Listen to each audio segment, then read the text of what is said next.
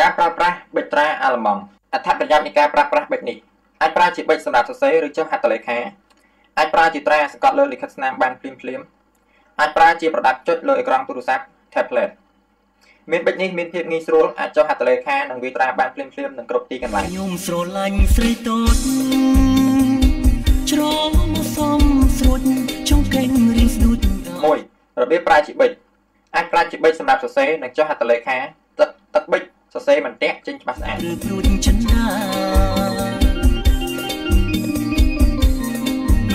2របៀបប្រើជាត្រាអាចប្រើជាត្រាសង្កត់លើលិខិតស្នាមបានភ្លាមភ្លាមច្បាស់ស្អាតគុណភាពដូចព្រិនមិនចែកមេត្រាអូនរងសង្ហារំចាស់ចិត្ត3របៀបប្រើជាប្រដាប់ចុចលើអេក្រង់អាចប្រើជាប្រដាប់ចុចលើអេក្រង់ទូរស័ព្ទ tablet ទូរទស្សន៍ឬ monitor ដែលអាចចុចអេក្រង់បាន ដំណើរការចុចដោយរលូនមិនអាចរឹងទាក់ទាញ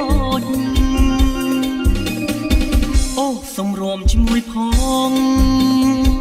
សូមរួមតែម្ដង4របៀបដូរបណ្ដោប៊ិចការដូរបណ្ដោប៊ិចមិនបានត្រឹមត្រូវធ្វើឲ្យប៊ិចមូលបណ្ដោហើយតែនៅតែលៀនចេញវិញធ្វើឲ្យប្រឡាក់ហប៉ៅអាវដើម្បីឲ្យក្រោយពីដូរបណ្ដោប៊ិចហើយបណ្ដោមិនលៀនចេញក្រៅសូមធ្វើតាមការណែនាំនេះមួយផងតើអារម្មណ៍បានឬទេករណីដាក់បណ្ដោចូលហើយតែមូលមិនលៀនបណ្ដោចេញ គឺបណ្ដាលមកពីខូចទ្រង់ទ្រាយនៃរន្ធក្បាលប៊ិច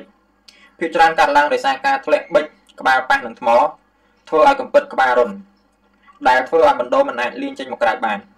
ករណីនេះសូមធ្វើឲ្យរុនក្បាលនោះមានរុនមូលមកវិញតាមរយៈការខ្វៀលឲ្យមូលជាការស្រេចបណ្ដោប៊ិចអាចរកទិញពីហាងយើងខ្ញុំបានខ្ញុំស្លូតហើយនៅទុំ5របៀបបញ្ចូលទឹកត្រាទី1 ការបញ្ចូលទឹកត្រាសូមដកគម្របប៊ិចចេញហើយផ្ងាសត្រាឲ្យត្រង់ទី2បន្តបន្ទាប់មកបន្តទឹកត្រាតាមរយៈអក្សរជៀសវាងជំវិញសត្រារហូតដល់កែមជំវិញសត្រាដែលធ្វើឲ្យមានស្នាមជំវិញនៅពេលដែលអុកត្រាចេញករណីនេះត្រូវយកក្រដាសសើមមកជូតជំវិញសត្រាទី3បន្តទឹកត្រាហើយទុកចោល15នាទីដើម្បីឲ្យទឹកត្រាជ្រាបចូលទៅក្នុងសត្រាអស់រំភងបានទេរំបានពីស្នេហ៍សូមរំជាមួយទី4 យកក្រដាសអនាម័យក្រដាសដែលមានភាពទន់មកជូតសត្រាចោល